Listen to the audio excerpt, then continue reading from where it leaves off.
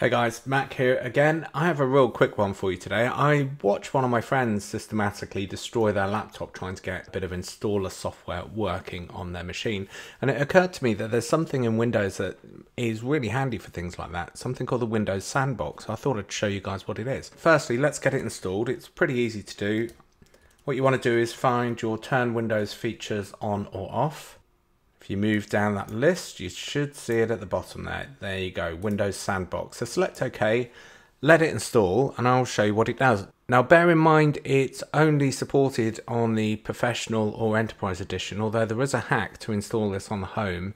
I'll put a link to that in the description as well. So let's get this machine rebooted and I'll show you what the Windows Sandbox is all about. So we've got it installed and I've rebooted the machine. So let's fire up the Windows Sandbox and we can have a look at what it actually is. So we should find it in the menu here. There we go. Now the first time you run it, it can take a, a couple of minutes, so let's just wait for this.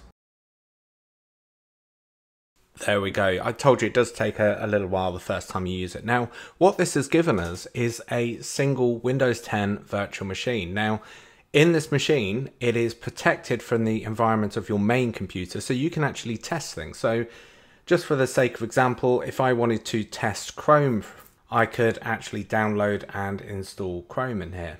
Pretty sure that's what people use Microsoft Edge for, to download and install Chrome. I don't think they use it for anything else.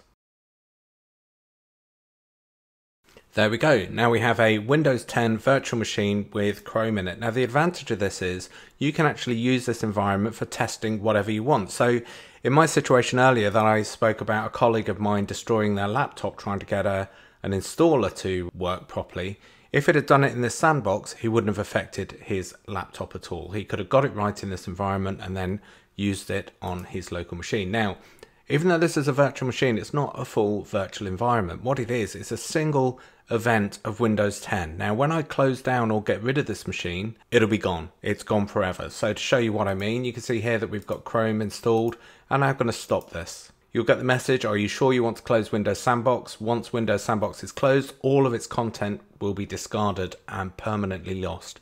That's a really important point because as soon as I do this, that's gone.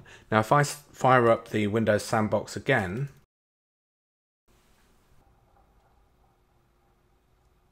there we go. Now you can see that we're back to where we were. It's exactly where we were to start with. There's no Chrome installed. It is a fresh machine. So what would you use this for? Well, like I just said a few minutes ago, it's a really great way to test things on a machine without actually risking damaging it. So you can try a bit of software, make sure it's what you want before you actually go and install it on your main machine. Now, of course, you can actually set up a proper virtual machine using Hyper-V. Perhaps I'll do a separate video on that. But this, I just thought was really useful, so I thought I'd quickly show you it. So let's get rid of that. Now, just to throw a bit of inception in here, we're running on a Windows 10 machine, but what I'm going to do is just show you something here. That Windows 10 machine that we were running and that which we ran the sandbox in was actually running in parallels on my iMac Pro. So it's really, really usable. It's really handy and it's a great little trick to be aware of. What, like I say, I'll put the link for hacking this into a copy of Windows 10 Home, but like anything, you know, that involves the word hacking, just be aware that if you do this and it breaks your machine, that's down to you. It's not me. It's only really supported on the Enterprise and Pro editions. But anyway, I hope you found that useful.